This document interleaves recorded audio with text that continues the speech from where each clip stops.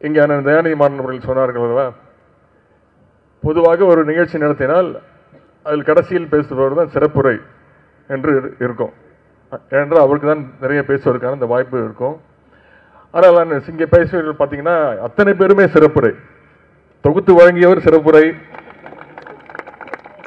வரவேற்புரை வழங்கியவர் சிறப்புரை.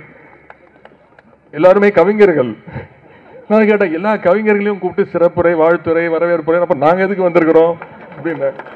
இல்லைண்ணே எல்லா நிகழ்ச்சியும் தொய்வு இல்லாமல் நடத்தணும் அப்படின்னு நம்மளுடைய செயற்பாளர் சொன்னார்கள். நீங்கள் சொன்னாங்களா எப்படி சுழன்று சுற்றி சுழன்று அவர் பணியாற்றி கொண்டிருக்கிறார் என்பதற்கு இந்த ஒரு நிகழ்ச்சியே ஆதாரம். நான் பல முறை அண்ணன் சேகர்பாபன் என்று கேட்டிருக்கிறேன். நீங்கள் உண்மையை சொல்லுங்கள் உங்களைப் போலவே உருவ ஒற்றுமை உள்ள உங்களுக்கு ஒரு அண்ணனோ தம்பியோ இருக்கிறார் நான் நினைக்கிறேன். நீங்கள் அதை மறைத்து வைத்திருக்கிறீர்கள்.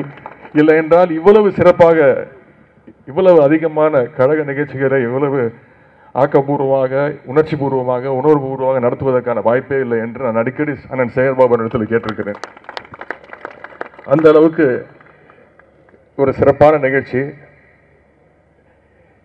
இப்போது கூட நான் மேடையில் அண்ணன் கேட்டுக்கிட்டு இருந்தேன் இது என்ன எத்தனை பேருக்கு எவ்வளோ உதவித்தொகை கொடுக்குறீங்க? அப்படின்னு. நான் என்னுடைய சேப்பாக்கம் திருவல்லிக்கேணி சட்டமன்ற தொகுதியிலே இந்த ஒன்றரை வருடங்கள் முக்கியத்துவம் கொடுப்பது கல்வி உதவித்தொகை தான் பல கட்டங்களாக பல நிகழ்ச்சிகளாக இதுவரை என்னுடைய தொகுதியிலே சேப்பாக்கம் திருவல்லிக்கேணி தொகுதியிலே ஒரு கோடி இருபது லட்சம் ரூபாய் வெறும் கல்வி உதவித்தொகையாக மட்டும் நாங்கள் கொடுத்திருக்கிறோம். ஆனால் அண்ணன் சேகர்பாபன் அவர்கள் இன்று இந்த ஒரே நிகழ்ச்சியில் மட்டும் கிட்டம் கிட்டத்தட்ட ஆயிரம் மாணவர்களுக்கு ரூபாய் பத்தாயிரம் ரூபாய் அதுவே ஒரு கோடி ஆயிடுச்சு.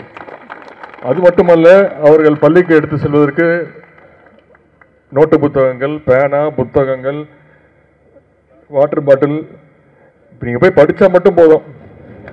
ஸ்கூலுக்கு போனால் மட்டும் போதும். அந்த அளவுக்கு சிறப்பான ஏற்பாடு சிறப்பான நிகழ்ச்சி.